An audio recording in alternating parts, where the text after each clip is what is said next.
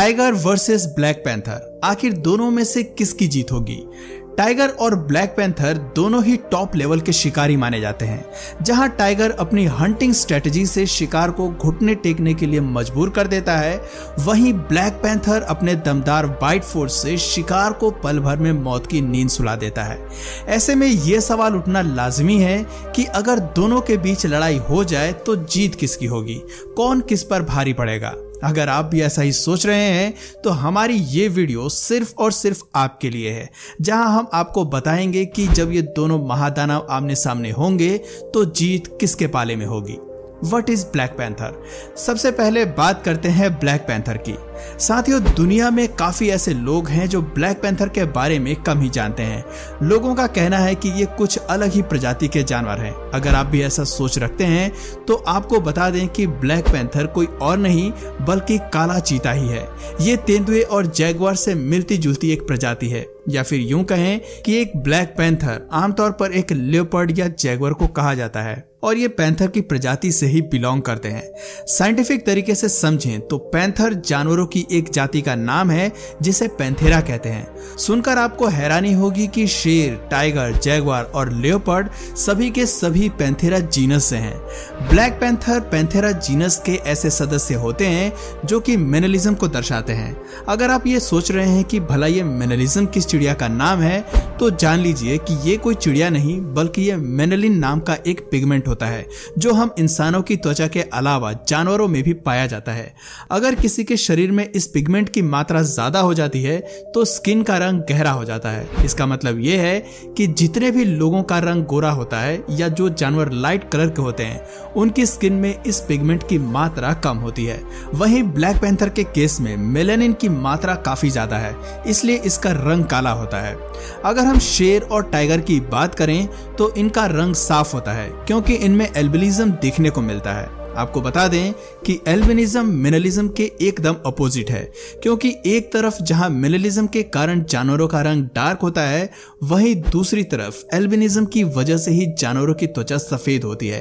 अगर आप ध्यान से देखोगे तो आपको पता चलेगा कि ब्लैक पैंथर के शरीर पर भी जैगवार और लेपर्ड की तरह पैटर्न बने होते हैं।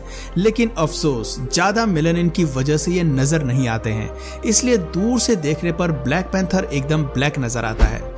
सुनकर हैरानी होगी कि एशिया और अफ्रीका में ब्लैक लियोपर्ड को ही ब्लैक पैंथर कहा जाता है। इसके अलावा सेंट्रल और साउथ अमेरिका में ब्लैक जैगवर को ब्लैक पैंथर के नाम से पुकारा जाता है। इस तरह हम ये मान सकते हैं कि ब्लैक पैंथर असल मायने में लियोपर्ड और जैगवार ही हैं। अंतर केवल इतना है कि ब्लैक पैंथर की स्किन में मिनलिज्म पिगमेंट ज़्यादा होने के कारण इनके शरीर पर पैटर्न दिखाई नहीं देते हैं। इसलिए इन्हें ब्लैक पैंथर के नाम से भी जाना जाता है।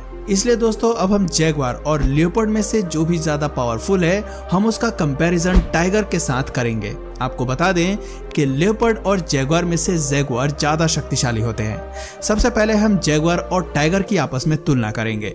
टाइगर एक मेल बेंगोल टाइगर 2.7 मीटर से लेकर 3.1 मीटर तक लंबा हो सकता है और इसमें इसकी पूंछ भी शामिल है। जबकि मादा बेंगोल टाइगर की लंबाई की अगर बात करें तो वो 2.4 मीटर से लेकर 2.6 मीटर तक लंबी होती है। एक टाइगर का वज़न पैंसठ से 310 किलोग्राम तक हो सकता है। वहीं साइबेरियन टाइगर की अगर बात करें तो ये बेंगोल टाइगर से आकार में बड़े होते हैं, जो कि दुनिया की सबसे बड़ी बिल्लियों की प्रजाति से आते हैं। Male Siberian tiger tiger 3.3 metre तक लंबे होते हैं और इनमें इनकी एक मीटर लंबी पूंछ भी शामिल है। वज़न में ये 320 किलोग्राम तक वजनी हो सकते हैं। Black Jaguar. ब्लैक जैगवार की अगर बात करें तो इनकी लंबाई 1.8 मीटर तक होती है और इनमें इनकी पूंछ भी शामिल है।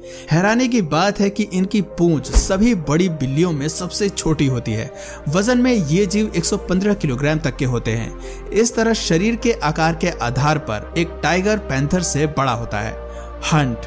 अब बात करते हैं इनके शिकार की।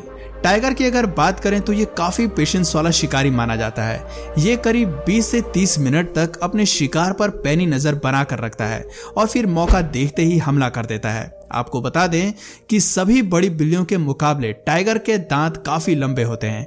इसके अलावा इसके पंजे बड़े और बहुत ही मज़बूत होते हैं। टाइगर पहले अपने शिकार को अपने मज़बूत पंजों के ज़रिए लपक कर पकड़ लेता है और फिर अपने पहने दांतों को शिकार के शरीर में घुसा कर उसकी जान ले लेता है। वहीं ब्लैक पैंथर अक्सर रात में शिकार करना ज़्यादा पसंद करते हैं, क्योंकि रात का अंधेरा इन्हें दुश्मनों से बचने में मदद करता है और ये उस पर आराम से अटैक कर सकते हैं। ये जानवर झाड़ियों के पीछे छिप कर बैठ जाता है और अपने शिकार का इंतज़ार करता है। इसकी खासियत है कि ये बिना आहट किए बड़े आराम से चल लेता है। यह अपने शिकार को जरा भी भनक नहीं लगने देता और उसके नज़दीक जाकर अटैक कर देता है। कई बार यह जानवर पेड़ पर चढ़कर शिकार का इंतज़ार करता है और शिकार के करीब आते ही ये उस पर हमला बोल देता है।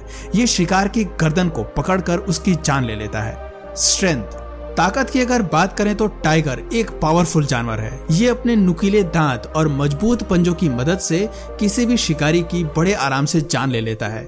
इनकी बाइट फोर्स 1050 पीएसआई होती है, यानी ये पल भर में ही शिकार को मौत की नींद सुला सकते हैं। टाइगर के पीछे के पैर आगे के पैरों के मुकाबले कुछ बड़े होते हैं और इनकी हेल्प से ये काफ़ी हाई जंप लगा सकते हैं।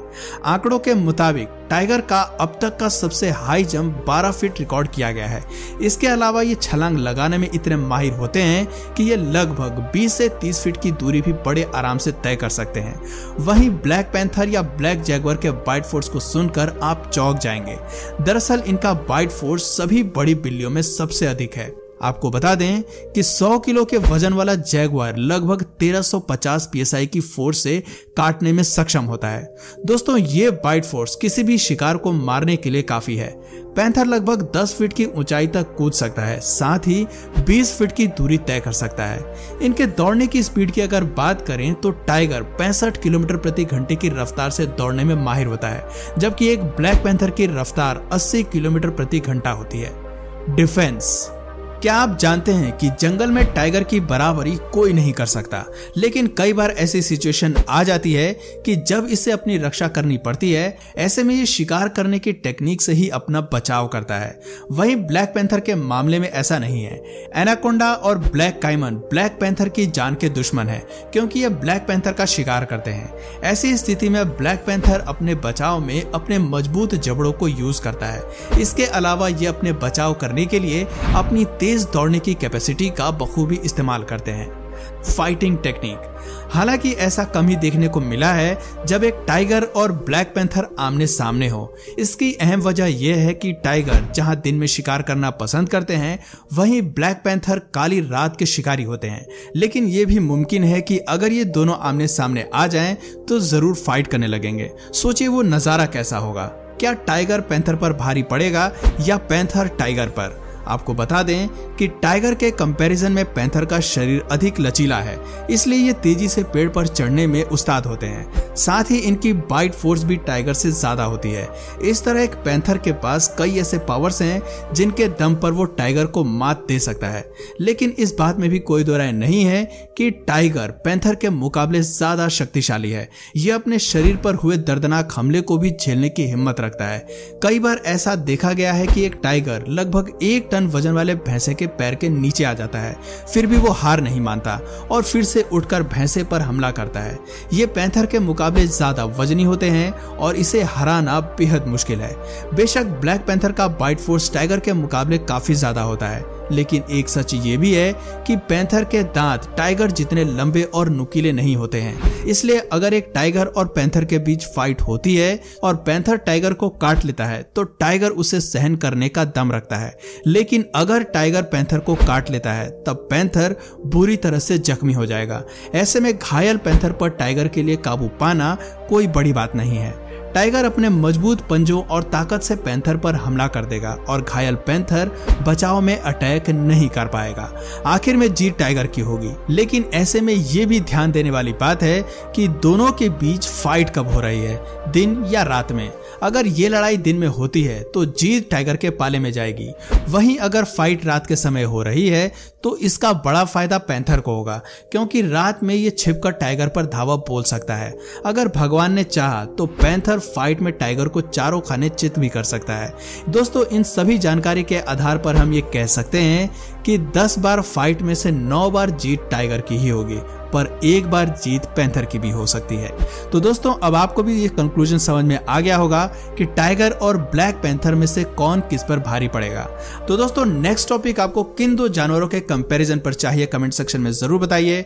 और अगर इस वीडियो से आपको कुछ नया जानने या सीखने को मिला या फिर इंटरेस्टिंग लगा तो प्लीज़ इस वीडियो को एक लाइक करके अपने फ्रेंड्स और फैमिली में से ज़रूर शेयर करें। और यदि आप इस चैनल पर नए हैं तो प्लीज़ इस चैनल को सब्सक्राइब करके बेल नोटिफिकेशन आइकन को ऑन कर लीजिए। ताकि हमारे आने वाले वीडियोस आप मिस ना करें। मिलते हैं फिर किसी वीडियो में नए टॉपिक के साथ। तब तक के लिए नमस्कार।